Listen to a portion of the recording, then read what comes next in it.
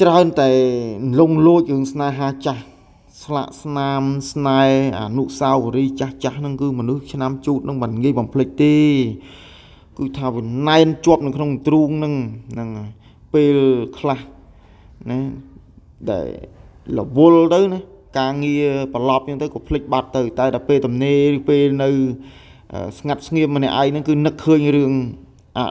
តីតកាលហ្នឹងចាប់ដើមលងលោចលើស្នេហាចាស់លើមនុស្សដែលខ្លួនធ្លាប់ស្រឡាញ់តែបែរជាព្រាត់គ្នាដោយសារហេតុនេះដោយសារហេតុនោះដោយសារតែគេមានគំនិតប្រឆាំងនឹងគំនិតរបស់ខ្លួនដោយសារតែគេតាមហើយគេមិនតាមវិញដោយសារតែប្រាប់អីទៅគេមិនស្ដាប់ហ្នឹងហើយហើយគេរឹងម្នះហើយក៏គេជំនះទៅតាមគំនិតរបស់គេឬក៏អ្នកខ្លះទៀតទៅក៏នៃតិចសស្ដាប់តាមក្រុមគ្រួសាររបស់គេអញ្ចឹងវាខូចអស់នៅផែនការជីវិត ហ្នឹងហើយដែលត្រូវរួមដំណើរជាមួយគ្នាហ្នឹងហ្នឹងហើយប៉ុន្តែយកល្អត្រូវតែព្យាយាមធ្វើម៉េចលុបបំបត្តិនៅភាពណា